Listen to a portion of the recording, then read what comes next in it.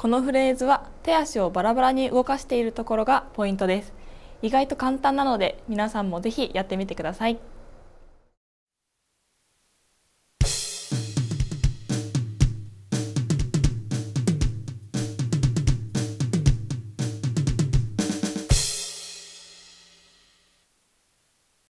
はい、えー、このフレーズはタムを使ったフレーズになります、えー、サビ前の盛り上げとかによく使われることも多いんですが比較的どこでも使える、えー、オールマイティーなフレーズですのでぜひ皆さんお試しください。タム回しフレーズも練習し